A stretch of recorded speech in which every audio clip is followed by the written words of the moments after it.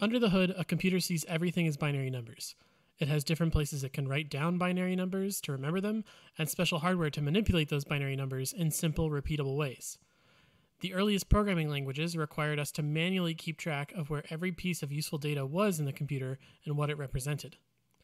Modern programming languages give us the first level of abstraction above that by letting us give pieces of data semantically meaningful names and shorthand syntax for the basic operations.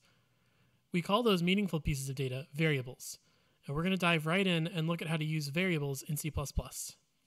So, here we have a variable declaration in C++ syntax. We're going to talk about three distinct parts of this variable declaration. The type, the identifier, and the initializer. We're going to start by looking at the type. One of the things we want to emphasize throughout this training is how to use the documentation to answer your own questions. The documentation source we'll be using for the C++ language and standard library is cppreference.com. So let's go see what it has to say about types. And here we can see that it says that type is a property which both restricts the operations that are permitted on an entity and provides semantic meaning to an otherwise generic sequence of bits. So, what does this definition actually mean? Well, it tells us that the type information we give to the computer is going to restrict what we are actually allowed to do with one of our variables. And it helps the computer understand what our variables actually mean. This lets the computer figure out how to interpret various pieces of binary data that it might see under the hood and know whether those should be interpreted as some integer or some floating point number. Without the type information, the computer wouldn't know which of these answers was correct because it only had a string of binary digits and no other extra information. There are several fundamental types, and these are types that are built into the language to form the backbone of the type system.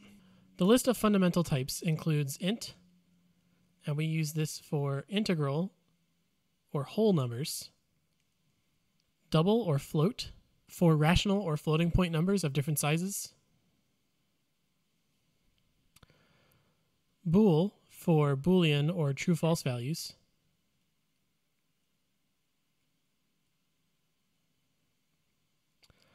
and char to store single characters in their ASCII numeric form. And there are many more fundamental types, some of which we'll see later in the semester. These fundamental types are often composed together into higher level abstract types to represent things more complex than a single number. The next part in our variable declaration is the identifier. Identifiers are just a human readable name for an entity, in this case a variable. While the type can tell us that our variable holds an integral number, the identifier explains what particular number this variable holds. So in our example variable declaration, the int here tells us that we're using a whole number, but our identifier, m&m count, lets us know that this variable holds the count of m&ms in our system. Looking back at our documentation, we can see that all identifiers in C++ must follow certain rules and avoid some patterns that are reserved by the standard. For example, identifiers are not allowed to be keywords that are already used for other purposes. Our identifiers can't have a double underscore anywhere within them. Our identifiers can't begin with an underscore followed by an uppercase letter, and our identifiers cannot begin with an underscore at all if they're in the global namespace, which we'll talk about later. Now, these rules might seem a little bit weird and arbitrary, but you don't run into them that often. The standard has reserved intentionally ugly identifier patterns so that our code can stay nice and clean. And now the final part of our variable declaration is the initializer, and that's this section over here. This part gives our variable a value to start with. It is possible to declare a variable without the initializer, but this can lead to some nasty bugs, so it's best practice to always include an initializer for our variables. Initialization in C++ has a long history with many changes. There are a variety of different ways to initialize variables in C++, but they all work towards the same goal, which is to give our variable a starting value. We'll cover initialization in more depth later, and for now we'll just stick to this syntax. Now that we can agree with the computer on names for different pieces of data and what type rules apply to them, we need a way to ask the computer to actually do something with those variables. Operators serve just that purpose. There is a long list of operators available in C++, and we'll touch on many of them throughout training. For this video, let's just focus on the most common. The basic arithmetic operators do exactly what they would do on your calculator. The basic comparison operators let us compare two variables. Double equals and exclamation point equals let us ask if two variables are equivalent or not equivalent. Less than, greater than, less than or equal to, and greater than or equal to let us ask how two variables would compare in a sort. The logical operators let us manipulate logical expressions. A single exclamation point negates a logical expression, turning true to false and false to true. Two ampersand characters join two logical expressions with an AND, and two pipe characters join two logical expressions with an OR.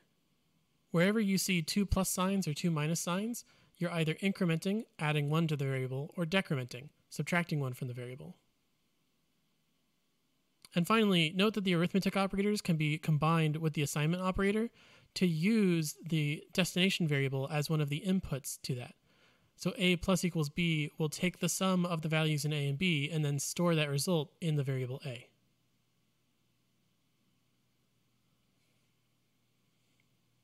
Now let's say a few more words about types, because the type system is very important in C++.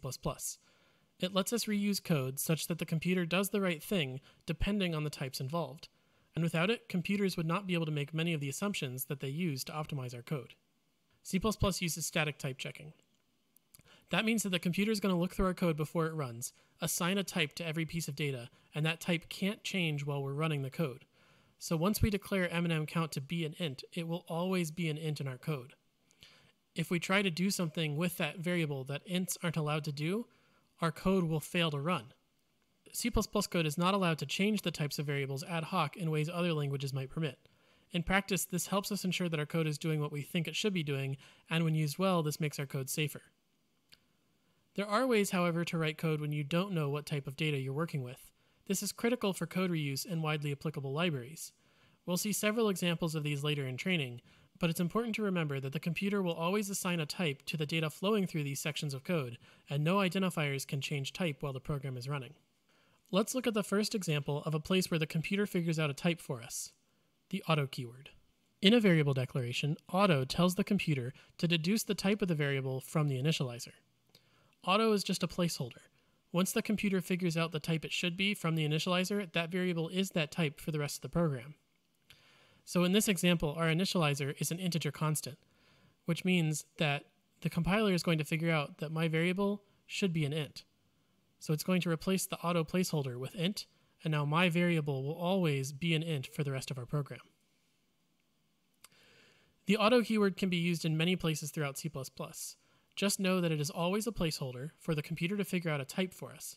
It can be very handy in places where complex types become very long. Variables, operators, and the type system are some of the most fundamental parts of C++. With these under our belt, we can start making programs that do useful things and start looking at ways to build larger and more interesting programs.